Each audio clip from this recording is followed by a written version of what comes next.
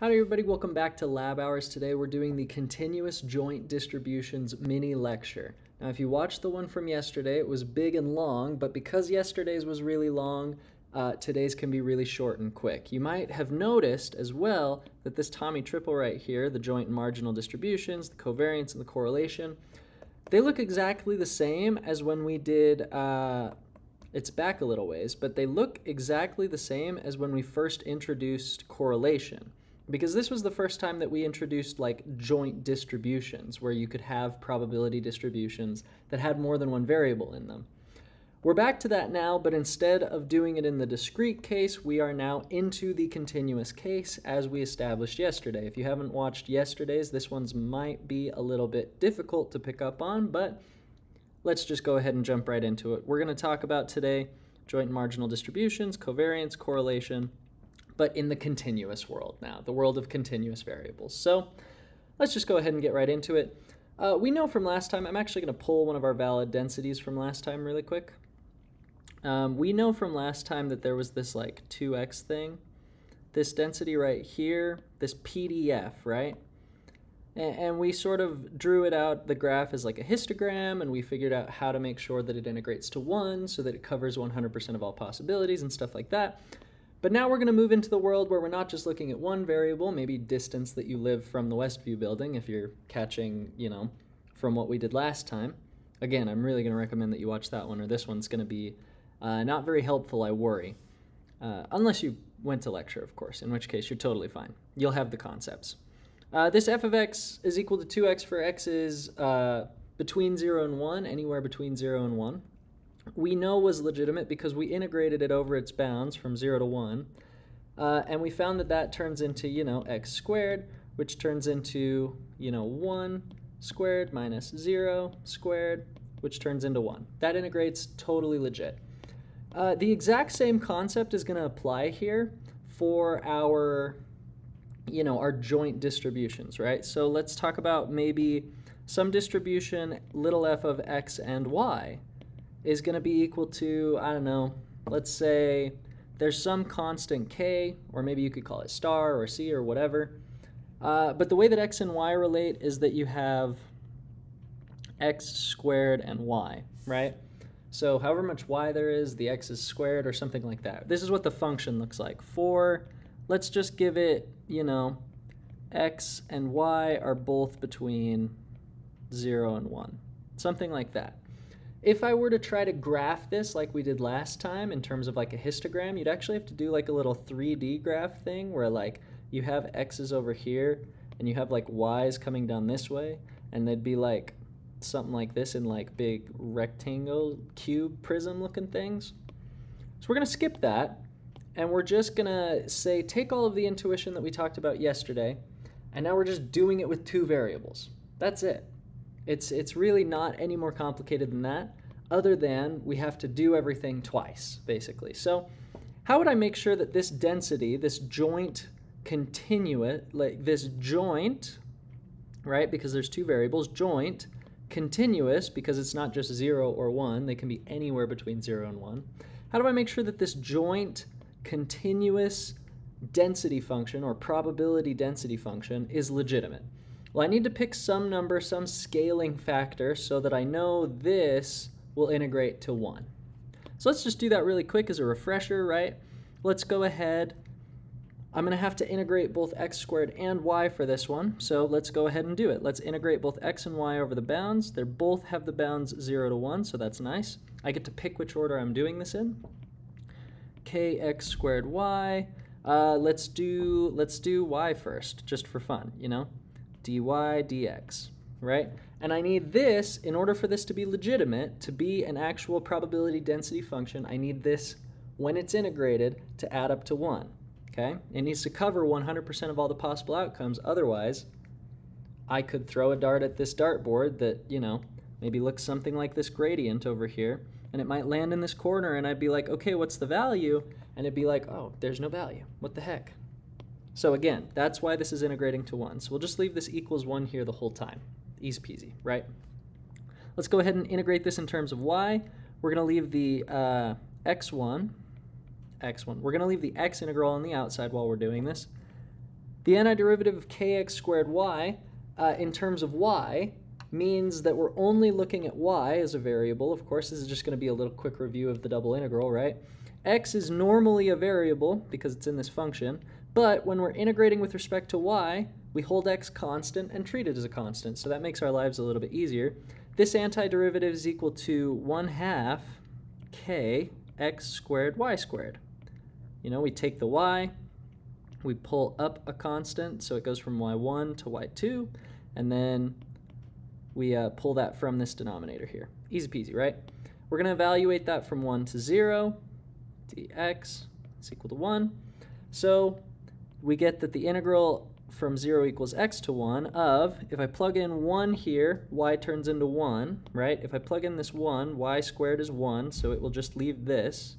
And then if I plug in 0, this all goes away. So I'm going to skip the step here, but this turns into 1 half k x squared dx still is equal to 1. Now we just got to finish out the integral by doing the x step, nothing too crazy here. Uh, the antiderivative of 1 half kx squared, we're going to pull this up to be from a 2 to a 3. So we need to pull a 3 from out from under this denominator. That means instead of 1 half, it's going to turn into 1 sixth. So let's go ahead and write that. The antiderivative is 1 sixth k x to the third. We evaluated at its bounds, 1 to 0, and we need to set that equal to 1. Uh, similarly to the last time, when we take this 1 here and plug it in, 1 cubed is going to turn into 1, so it'll just leave us with 1 sixth k, and then 0 will cancel the whole thing out. So we are left with 1 sixth k is equal to 1, or that k needs to be equal to 6, right? So in order for a probability density function of this kind of structure, this x squared y, for these bounds to be legitimate, right, we need to do the following. We need to make this k into a 6. So let's do that. Now what could this reasonably look like, right? Well, maybe we're thinking about y as our variable from last time, you know, the distance between uh, the Westview building and where someone lives. Where someone like me who lives at the Westview building basically is going to be on this zero end, and somebody who lives an hour from the Westview building is going to be over on this end, and there's a bunch of people scattered in between. Y could be like number of people that far away from the Westview building, right? And maybe uh, the Y is sort of constant in a line. Like here's the building, and then there's just person, person, person, person in a line, right? And they're evenly spaced. That's why the Y would be linear there. But maybe the X squared is like number of restaurants uh, within an hour of the Westview building because within zero minutes of the Westview building, there aren't any, right? And a couple minutes is like the Cougar but for the most part, every restaurant is actually going to be way farther away. They're going to be more heavily concentrated towards here. And so that density will kind of look like this, right? Like when I'm close on the X side, there's not as many restaurants. But when I get farther away, there's a lot more restaurants, right? So that's something that that could look like, a little bit of that intuition. So now that we've done this math and thought through this, we know that this 6 is meaningless except that it makes it integrate to 1, so it covers all of the restaurants and people who live or exist within an hour of the Westview building. Something like that, right? Restaurants, people, we're looking at both within an hour, uh, and this 6 is only here to make the math correct. That's what it does. So now our joint probability density function is legitimate, that's great. But sometimes we're only going to be worried about looking at one of the variables, right? So let's take a look at that. How would I get something like the expected value of just x squared, right? Maybe I have this function because my data gave me data on people and restaurants. Uh, but maybe I'm only interested in restaurants and their distance from the Westview building. So how would I deal with that? Well, just like we did before with our marginal distributions, right? I'll pull back here a couple pages so you can kind of see what we did with our marginal distributions, right? We had this big setup where like for each specific combination of values, they had their own specific probability. But now it's impossible to make this list of combinations because zero, like x can take on infinite values between 0 and 1, and so can y. So this list would have to be like friggin' just infinitely long, and I don't have enough tablet for that, right? But what we did is we just took a look at the values of a and where they changed, and we just took a look at the values of k and where they changed. And what we did is we said, let's ignore the change in a if we want to get the probabilities for k, right? Even if this a is different, let's ignore that for a second and just look at where k is the same. That's exactly what we're going to do to get marginal densities from this joint density that we know is legitimate now, right? And if we know, right, if we're doing this right, I'm actually just going to scroll like this because it makes it a little bit easier.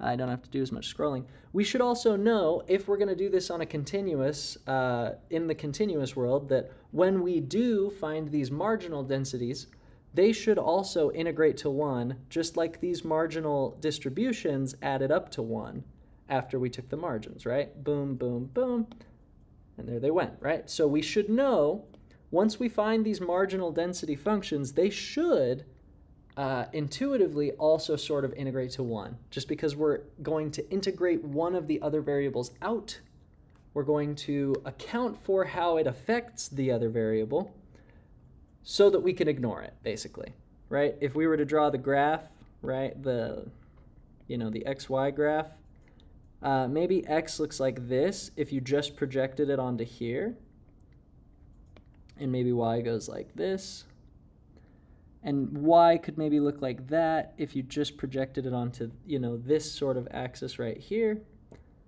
but x looks like this, you know, something like that, right? We're only going to look at one variable at a time, but we also have to account for like how this variable changing might change the shape of the projection, which is kind of cool. A little bit um, mathy, a little bit picturey. So let's just do it really quick. If I wanted to find the marginal density of x, which we're going to denote with this little fx down here. The reason we have this little sub x down here is to remind us that this is coming from a joint distribution. Uh, and just to be like, yeah, we have the specific part of the function that has to deal with x of x, because the whole function f deals with both x and y. Nothing crazy like that, just a little bit of notation. It's just like px of x is equal to x, right, from before. So let's jump right into that. What we're going to do is we're going to integrate across the bounds of y and, and just get y out of the picture so that we can account for its effects on this legitimate function and then just have a picture of how x moves by itself when we don't have to worry about y, right? So let's go ahead and do that. Okay. Let's go ahead and do it. Integrate from 0 to 1 is equal to y, right? 6x squared y dy. That's all we're doing.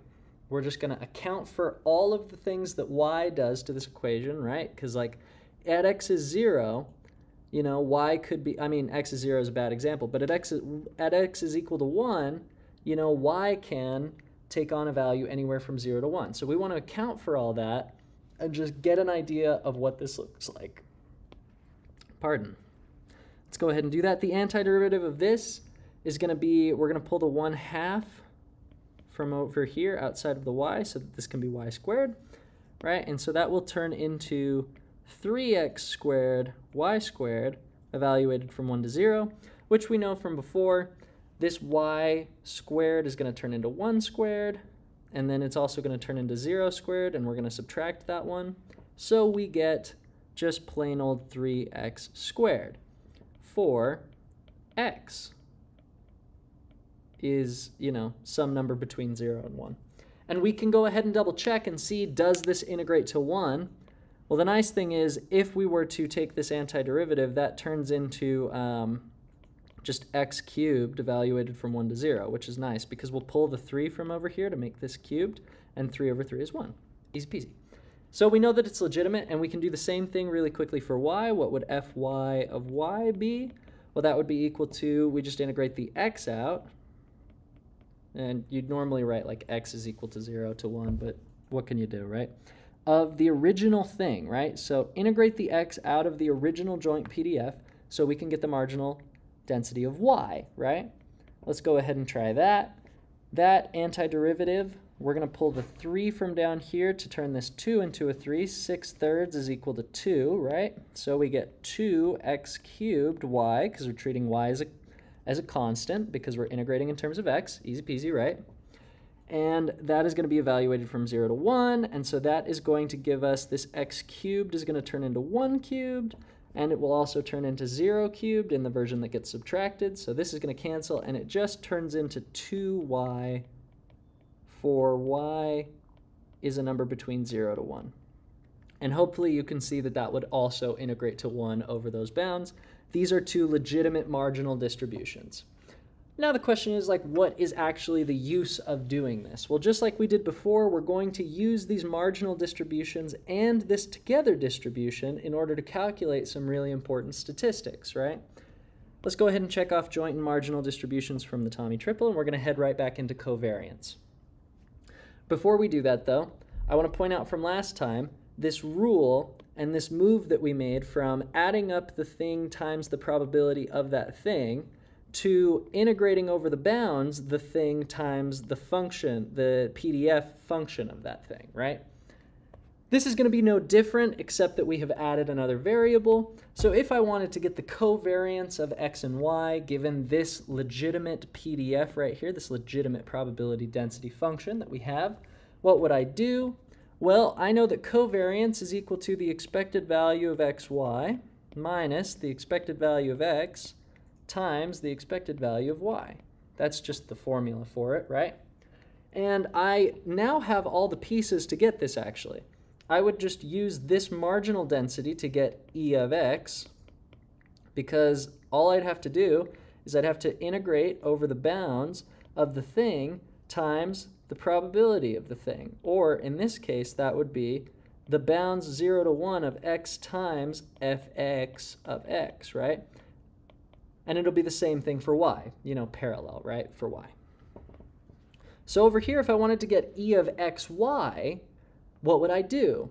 Well, the probability of getting any specific combination of x's and y's is represented by this joint probability function, you know, this joint density function. So all I have to do to get e of xy, pretty simple, e of xy is going to be the integral over the bounds of the things, right? And this time we'll write it in the correct order. Let's do x second again, right? The integral over the bounds of the thing, which in this case involves both x and y, of the thing, which is xy, times the probability of seeing that thing, or in this case, the legitimate PDF, right? So that would be 6x squared y.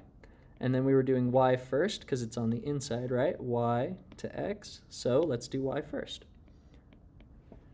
Okay, this one's going to be a little bit more obnoxious, but we'll work through it together, right, pretty quickly. Uh, we're going to leave the integral from x equals 0 to 1 on the outside, and the first thing I want you to do is actually to just distribute this. Do not try to integrate this with some kind of reverse product rule or anything like that. Just multiply the numbers through. It makes your life way better, right? So this turns into 6x cubed y squared dy dx. Let's keep going with that really quick. Uh, the first integral stays on the outside, that's great, but now we can take the antiderivative in terms of y. We're going to take a 3 from down here and put it up here, right? So that's going to turn into 2x cubed y cubed, evaluated from y equals 1 to 0, right? And then we'll still have the dx on the outside because we haven't done that derivative yet. And let's go ahead and just write this out, right? Once I take the 1 in here, this will turn into 1 cubed version of this minus the 0 cubed version of this. So the 0 cubed version goes away. The 1 cubed will get rid of this y here, and we will get the integral from x equals 1 to 0 of 2x cubed dx we're still not done yet. We have to finish up this second integral, so let's go ahead and do that. We can take this antiderivative. We're going to pull, uh, not a 3, but we're going to pull a 4 from the bottom here and put it up top with the x.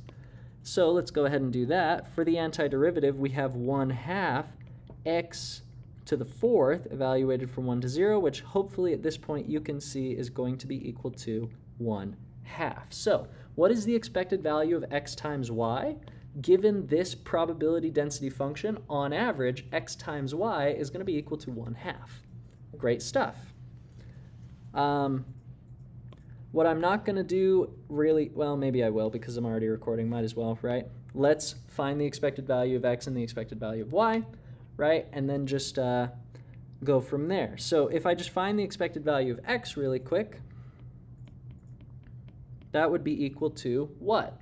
Well, it's the over the bounds of the thing, x equals 0 to 1, of the thing, which in this case is just x, times the probability of that thing, which in this case is just the marginal one, right? This is why the marginal distribution is helpful, is because we don't have to deal with reintegrating the y out.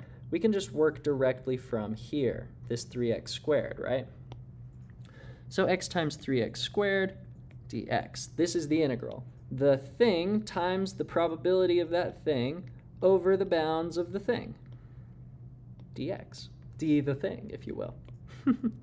Just really quickly, I'm not going to work through this too fast, but this is going to be 3x cubed. Antiderivative is going to be 3 fourths x to the fourth. It's going to evaluate from 1 to 0, which means we are going to get a number 3 fourths. And then the expected value of y, very much a similar story. This is going to be y equals 0 to 1 of y times 2y dy.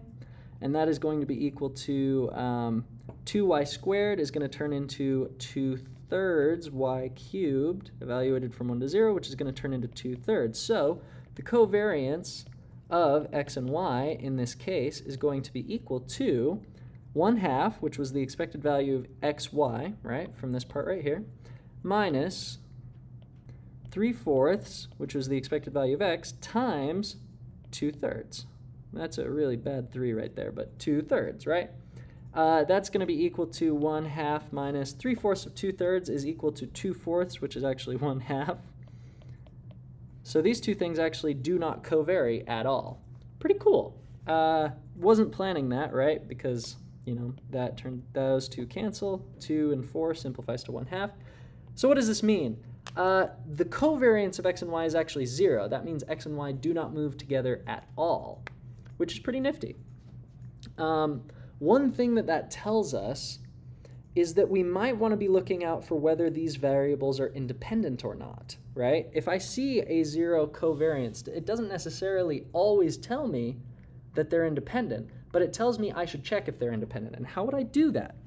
Well, just like we did back in the day, we want to know uh, if taking the probability of x times the probability of y is the same as the probability of x and y together for all the values of x and y. In the past, when we gave you tables, you would have had to actually check every single value of x times y, but now that we have functions, we can actually just multiply these two things together and see if it equals this right?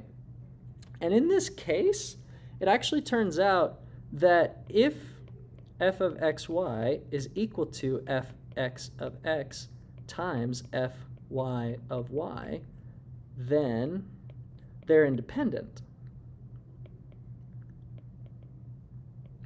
And in this case, they do happen to be independent, which is cool because 6x squared y is equal to 3x squared times 2y. So that's pretty cool. Didn't even mean to do that, but it's pretty interesting, right? That's how you'd calculate covariance, right? And in this case, we can just call that done for covariance, right? You can see how you would do, because the, cause the really important thing is just getting, how do I get this e of xy? Well, integral of over the bounds of the thing, which all parts of the thing, right, of the thing, times the probability of that thing, right? And the probability of that thing is the probability density function of that thing, right? In this case, x and y, any form of x and y, right? If you wanted to find the correlation, you actually do have all of the tools to do that. You would just have to find things like standard deviation of x, which would be equal to the expected value of x squared minus, well, it'd be the square root of the expected value of x squared minus the squared expected value of x, right? Of course, we know that from before. That's a formula that we're familiar with. And just to write that out for you so that you'd have all the tools, of course, correlation would look like this, covariance of x and y, which we just found was zero, over, you know, standard deviation of x times the standard deviation of y. Great stuff. This standard deviation of x in this format, and I'll leave the rest of you to try as an exercise because I promised a short one and it went a little bit long because we worked out all the math and stuff. But what this would look like is it would look like the following. The standard deviation of x is going to be equal to the square root of, I'm going to give myself lots of space, right? The integral over the bounds of the thing, in this case 0 to 1, of the thing squared, right? Because this is the thing, right? So it's not even the thing squared. This is literally just the thing in the parentheses, in this case x squared, times the probability of that thing, which in this case is the marginal density of x, or this 3x squared from before, right? x squared times 3x squared dx minus parentheses the integral over the bounds of the thing, 0 to 1, of the thing, which in this case is just x, times the probability of that thing, 3x squared, that hasn't changed, right? Because this x squared, if I find that my x squared is 9, my x will be 3, and the probability of those two things showing up, if I have x equal to 3 and x squared equal to 9, uh, those probabilities are the same, right? Because if x is 3, then x squared has to be 9, right? So that's pretty cool, especially because in this world, uh, we're in a standard deviation world where it's non-negative, right? So this would be the integral of the thing, right, x, times the probability of that thing, 3x squared, over the bounds of that thing, and then we're going to take that quantity squared, right? Because that's from this formula up here. This is how you'd set it up. And I will just leave you to go ahead and be able to do that if you'd like. Um, nothing too crazy here, okay? That's going to cover everything that we needed to do from uh, correlation. And in fact, I've been drawing these in the wrong color. That's no good. But that's going to actually cover the Tommy Triple for continuous joint distributions mini. Most of today was actually just working through the math to give you a uh, just kind of a helpful insight on how we do these double integrals and how they make sense, right? Not so much intuition today, but actually just a little bit of practice. So I think that can be helpful from time to time. Today we covered the idea of joint and marginal uh, continuous distributions and how they work as functions instead of being discrete now. Uh, we talked about calculating the covariance, how I would do expected value of xy in this case. Again, it's just another instance of the thing times the probability of the thing over the bounds of that thing, including all parts of that thing, right? I, I know you might get tired of hearing me say that, but that idea is really going to be super essential to the to your stats and metrics classes coming up forward, right? And then I just left you a fun little exercise for correlation. Hopefully you can tell that with this example, because covariance of x and y is zero, the correlation would also be zero. Uh, but this is the general format of how you do it. And, you know, we also found our little constant k to or c or whatever we called it so that we could make sure that our joint distribution was legitimate, right? That's all we needed to cover today. It's just take all of the ideas we've already covered, and instead of just numbers, x is 0, 1, 2, 3, 4, 5, 6, now it's a function. It can be anything from 0 to 6. It could be pi for all I care. Just don't call me late for it, right? Uh, next time you come into the lab, hopefully when you come by, we're going to talk about continuous conditional distributions, which again is going to be hopefully a little bit of a shorter one, but you know, if today's is any example, it will probably just be more math walkthrough, right? Because it's the exact same idea as when we previously did conditional distributions, but this time uh, we're going to be doing it with uh, the continuous versions, right? It's not discrete anymore. So, as always, thanks for stopping by. If you've got questions and you're in the class, uh, email tom, tmorg.ta at gmail.com. And if you're not in the class, email labhours at tmorg.org. Of course, if you want to keep seeing these when they come out, you go ahead and subscribe and like the video and ask questions in the comments, and you know what to do. It's great stuff. And uh, we'll see you around next time when we talk about the continuous conditional distributions mini lecture. Uh, thanks for stopping by. Have a wonderful day. Bye bye.